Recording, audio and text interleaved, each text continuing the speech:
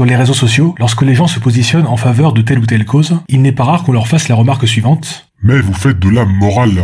Moi, je suis dans une démarche rationnelle. Je me base sur la science. Un sujet qui a particulièrement tendance à déclencher ce genre de remarques, par exemple, c'est tout ce qui touche à la réduction de la souffrance animale. Sans doute parce que se soucier du sort d'animaux est perçu par beaucoup de gens comme quelque chose de particulièrement euh, mièvre et gnangnan. Mais c'est aussi valable pour à peu près n'importe quelle cause vaguement altruiste. Aide aux sans-abri, violence misogyne, lutte contre le changement climatique, et il me semble que cela témoigne d'une grosse incompréhension de ce qui distingue science et morale. En fait, cela me fait penser à un livre assez embarrassant de Sam Harris, un intellectuel américain, intitulé The Moral Landscape, le paysage moral, un livre dont le sous-titre est Comment la science peut déterminer les valeurs humaines. Si vous voulez en savoir plus, il y a une critique très intéressante de ce livre sur la chaîne Coq Philosophie. Oui, c'est une vraie chaîne YouTube, lien dans la description. Et comment la science peut-elle déterminer les valeurs humaines? Donc, eh bien, d'après Sam Harris, en déterminant les manières les plus efficaces de maximiser le bien-être des êtres conscients. Et partant de là, tout le livre est un peu à côté de la plaque, j'ai envie de dire. Ce que fait réellement Sam Harris, ici, c'est de postuler que la valeur ultime, c'est la maximisation du bien-être des êtres conscients. Puis, partant de là, il suggère d'utiliser les connaissances scientifiques pour poursuivre cet objectif, ce qui est une piste euh, légitime, mais là, donc, on n'a pas utilisé la science pour déterminer les valeurs humaines. On utilise juste la science pour tenter de satisfaire au mieux une certaine vision des valeurs humaines. Parce que oui, lorsqu'on dit qu'il faut maximiser le bien-être des êtres conscients, ben, on pose un axiome moral. Mais on pourrait en poser d'autres.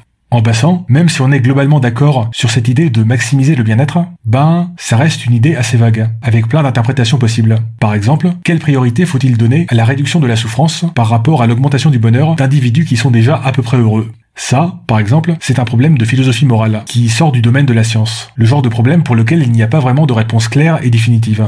Et pourtant, si on veut savoir quoi faire pour maximiser le bien-être, ben, on est obligé de prendre position sur cette question morale. En fait, Sam Harris a construit tout son livre sur deux erreurs. Première erreur, considérer que la maximisation du bien-être est un objectif qui va de soi. Ouais, qui va tellement de soi que toute réflexion philosophique sur cette question n'est qu'une perte de temps.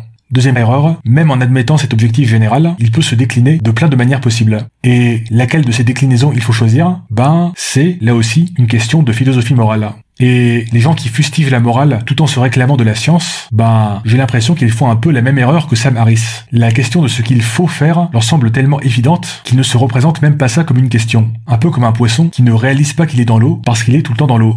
Et du coup, lorsque des gens poursuivent des objectifs moraux légèrement différents, ils ne vont pas voir ça comme un désaccord de philosophie morale. Ils vont juste voir ça comme quelque chose d'évidemment stupide ou inadéquat.